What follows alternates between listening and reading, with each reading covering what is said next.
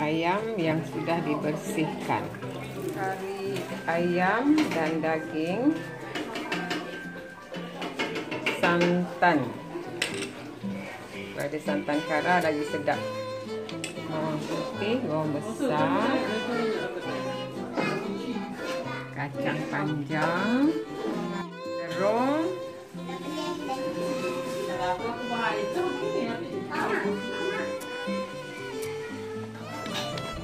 Tumis, bawang merah, bawang putih. Eh, bawang putih, bawang mama merah. ni? Ada itu kah?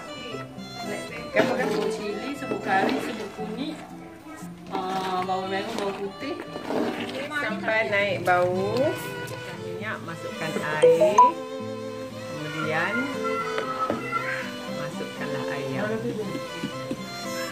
Tunggu sampai mendidih. Sayur-sayuran. Tunggu dia mendidih ya. Santan kotak.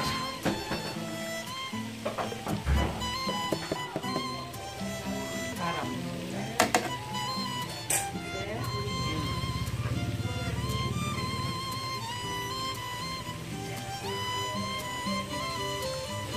Okey, masukkan dulu.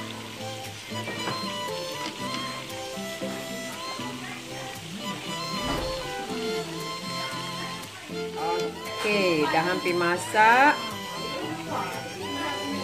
Gulai ala-ala kau. Dah masak. Gulai kak Wu dah masak. Ini ru- rupanya ayam gulai kak Wu.